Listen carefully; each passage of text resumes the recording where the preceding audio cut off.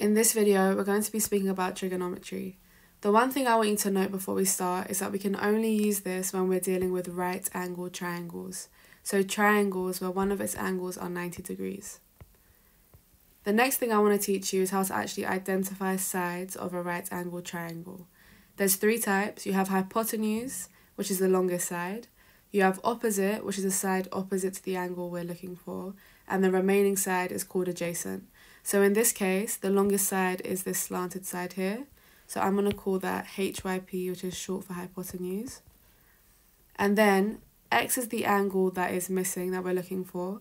And the side opposite to that is just called opposite. So I'm just going to put OPP for short. And the remaining side, which is this bottom side here, is called adjacent. So now we're going to learn what this acronym means, which you've probably heard before, SOHCAHTOA. So it's just a way of memorizing the definitions for three trig functions. So the trig functions you need to learn are sine, cos, and tan. These are just short for sine, cosine, and tangent. Now, as you can see, the S is followed by an O and a H. The O refers to the opposite side, and the H refers to hypotenuse. So sine is defined as O, opposite, divided by H, hypotenuse. Then you have an A and a H following the C, which represents cos. So cos is defined as adjacent over hypotenuse. And finally, T is followed by an O and an A. So tangent is defined by O divided by A. Now let's apply this to an actual question. So here it says, find the size of angle BAC. As you can see, this triangle is right angled. And angle BAC refers to this angle here, BAC. So I'm just going to highlight that and I'm going to call it X because right now we don't know what it is. The next step is again to identify the sides. So the long slanted side is hypotenuse. The side opposite to the angle we're looking for, which is this side here, is called opposite. And then the remaining side is just called adjacent. So now to find x, all you have to do is look at the information that they give you. They give you the opposite side and the hypotenuse. Which one of these trig functions uses O and H? It's sine. So this is the one that we use. And then how you write this is sine of x, where x is our unknown angle, equals, so remember the definition is over H. Opposite is actually 12 centimeters in this case, I want to put 12, divided by H refers to hypotenuse, which in this case is 13. So 12 over 13.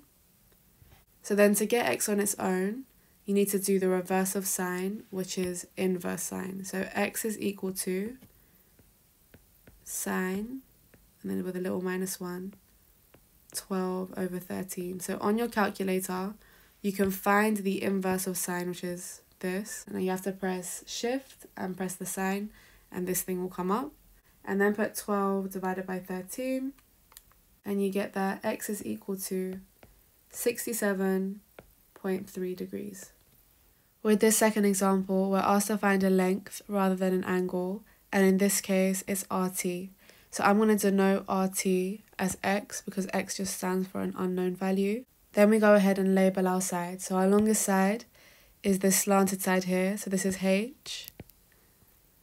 This is the angle we're given, and the side opposite to that angle is obviously going to be called O. And then finally, the remaining side X is adjacent, so A. So look at the information that you're given. You're given an angle, you're given opposite, and you're trying to work out adjacent. So which one of these trig functions uses O and A? It's going to be tan. So this is the one that we select. So your equation will be tan 53 because you're given the angle in this case equals opposite, which in this case is 14, divided by adjacent. Adjacent in this case is our unknown, which I as x. Then you just rearrange this to make x subject to formula. So first, bring this up and you get tan 53 multiplied by x equals 14. So then x is just equal to 14 divided by tan 53.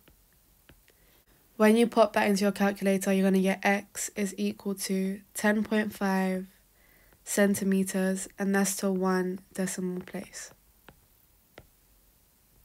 Now for this final example, I suggest you try it and then watch the next video for the work solution. So here they're asking for the length, not an angle, and they're asking for the length of AB. So I'm going to denote that as X. Then I'm just going to label all the sides. So this side here is the longest side, so I'm going to call it H.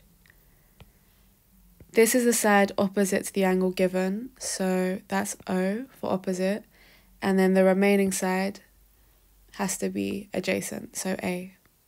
Now you need to look at what they're giving you. So they've given you hypotenuse and you're trying to find adjacent. So which of these trig functions has H and A? Well, it's going to be cos. So this is the one that you select. And like before, the form of your equation will be this. You have cos, so we have adjacent on top, which is just the unknown here, so x, divided by h, which in this case is 12.5. Now you just rearrange for x, so you just have to bring this up.